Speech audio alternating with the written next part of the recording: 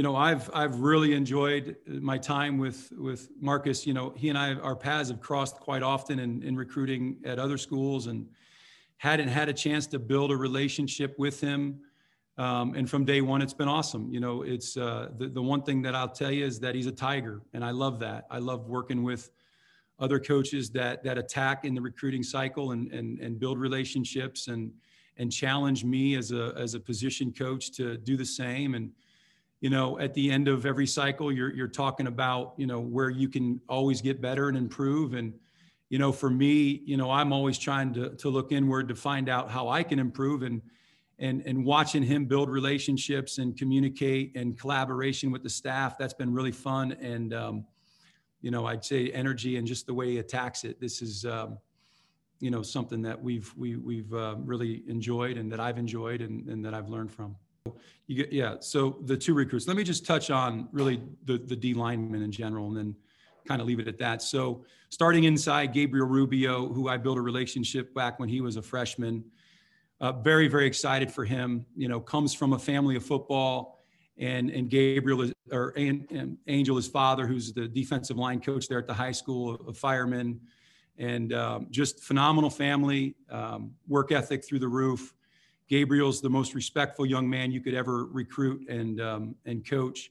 I gave Gabriel a um, uh, you know I gave him a challenge of we gave him a challenge of we need to see your academics go up before we can offer you a scholarship. And it was a risk that we took because you know Gabriel was getting you know 15 20 offers from you know top top 10 programs. And and uh, he held steadfast to what he was looking for. And and um, you know, once he got his GPA up to where we needed it to be, we offered him a scholarship, and he turned around and he committed. And he, in, and so you know, building an incredible connection with him and his family, and super excited for where he's coming, and, and thankful that he's here this spring.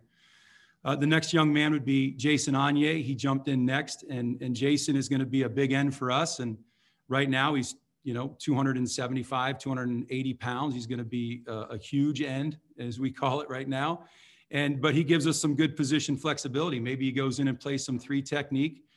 Uh, but we're excited for Jason's development. He's super tall, long, and athletic, and uh, twitchy enough to give us great pass rush. So you know he's going to be on the edge to start and, and see how he goes. Uh, but he's not here this spring. And then the next young man that jumped in was Will Schweitzer. You know he's going to be a Viper. We're excited for him. You know he's he's he's long. He's he's tall. He's um, you know, an incredible worker. He's played linebacker, so he's got coverage ability, which we're excited about for that Viper position. And then, um, you know, you got Devin Aupiu. So Devin was the, the last to jump on board and, and super excited for him.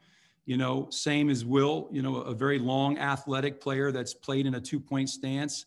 You know, the, the great thing about Devin is that he's a he's a football junkie. You know, when we talked during the recruiting process, it wasn't about the glitz and the glamour. He wanted to talk football. You know, he wanted to know, hey, why is Daelin in a in a two point stance with his outside foot up and his inside foot back? You know, I think I'll feel more comfortable with my inside foot up. You know, and then, you know, I see you're playing three three vipers. You know, they're moving all over the place. What are you telling him when he's over the guard? You know, he's just a football junkie, which I'm excited about.